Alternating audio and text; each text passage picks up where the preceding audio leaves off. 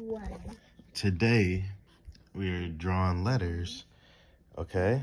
You drawing your letters? Yeah. Yeah. We're drawing our letters today. No, it's going pretty good. Baby's drawing the letter A today. The letter A. So, yeah, we're going to get it in. Yeah. Yeah. There's the letter A because I'm drawing the letter A. Mm-hmm. A. A. Good job, baby. Now, I'll say the hardest thing about this is you have to be patient.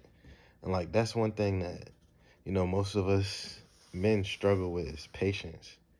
Because at first I did not have the patience to teach her how to draw the letter A. Like you think it's so simple trying to teach your child how to draw the letter A. It's not. It's not easy at all. I mean, just a simple letter.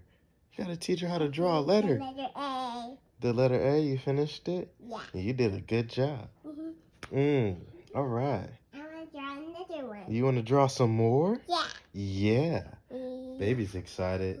I'm excited. I'm Wish me luck.